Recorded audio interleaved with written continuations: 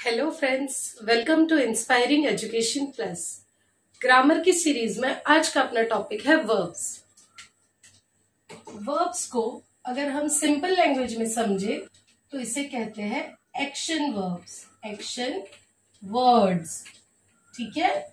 Action words is known as verbs कोई भी word जिससे हमें पता चले कि उस चीज़ का एक्शन क्या हो रहा है, उसे हम वर्ब्स कहेंगे। डेफिनेशन लिखते हैं। A word which describes the action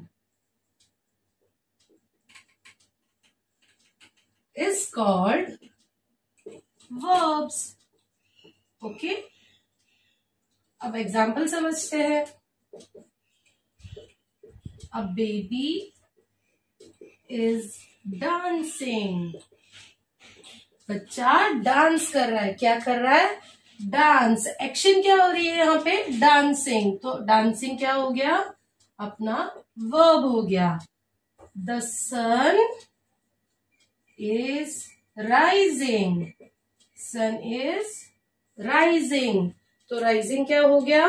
action verb verb हो गया अपना। आई होप कॉन्सेप्ट समझ में आ रहा है डेफिनेशन क्लियर हुई है। कुछ और एग्ज़ाम्पल समझते हैं so that your doubt gets clear and the concept you understand very well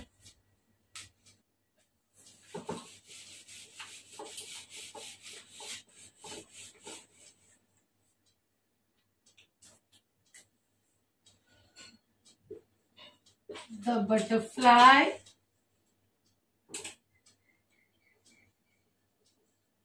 the butterfly.